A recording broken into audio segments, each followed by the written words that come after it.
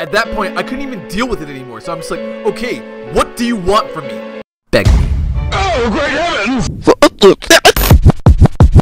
Okay, so we're gonna just dive right in on this one. So y'all already know my GameStop manager, Binica. The loud, mean, take no crap from anyone manager who secretly had a heart of gold. Yeah, she had a lot going on. Anyway, around this time, she always asked me to work the same shift as her. Even if it was supposed to be my day off. Like, bro, why?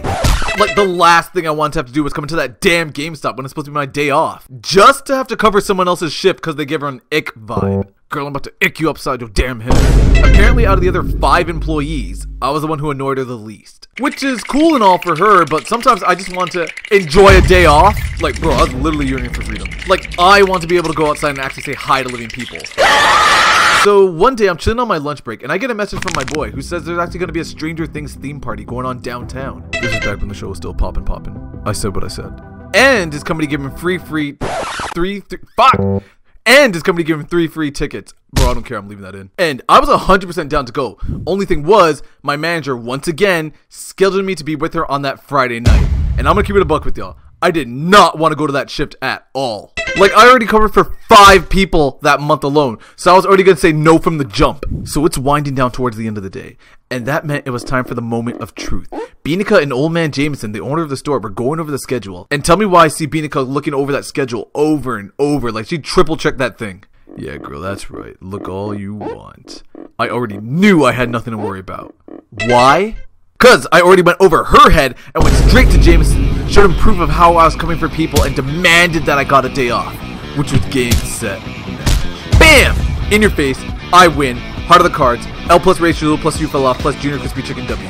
My strategy had no flaws. I could smell the kids from Stranger Things now. I mean, bro, you know what I mean. I was able to skip work. But while I was still in the midst of my victory posing, Len, sorry to interrupt your awkward anime protagonist posing, but Binica came up with a marvelous idea. I'm not even lying. That's how he sounded, and the voice makes me happy, so I'm keeping it like that.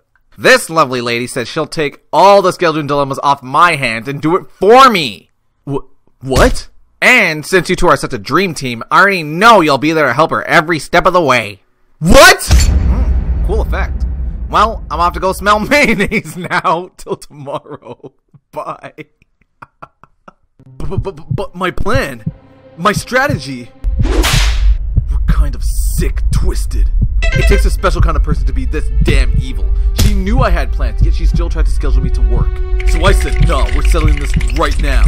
So I marched my way up to her, and I'm like, yo, Beans, don't call me that! You already knew I had that Friday off. What's going on? Easy. I saw that Fitz was supposed to be scheduled, and I didn't want to work with him. She said that shit as naturally as she breathed. I'm not even lying to you. But the, but but you already knew I had plans. Yeah, and what are you saying, Len? You don't want to work on the same shift as me? Yes! I want to go out and actually live! It's not even a full day shift. What are you getting so bent out about? Seriously? I covered more shifts than anyone. I swear I see you than I see my own ass. At that point, I couldn't even deal with it anymore, so I just said, okay, what do you want from me? Beg me. There is no way in hell I'm begging Bianca to get a day off that's rightfully mine. At this point, I said, fuck it. I'll get a job at the damn Quiznos next door rather than put up with this. Listen taking that damn day off, and if I feel like it, I'm taking the next day off as well. And you know why? Because I earned it through blood, sweat, and torment. And when you earn something, you're damn entitled to have it! Okay, so like 80% of that I didn't do, but I did get mad and say that I'm not coming on Friday. Like, get the actual person who's scheduled to show up. And I know you would have done the same damn thing. Don't even cap. And finally, after all my scheming, planning, heartbreak, and demanding,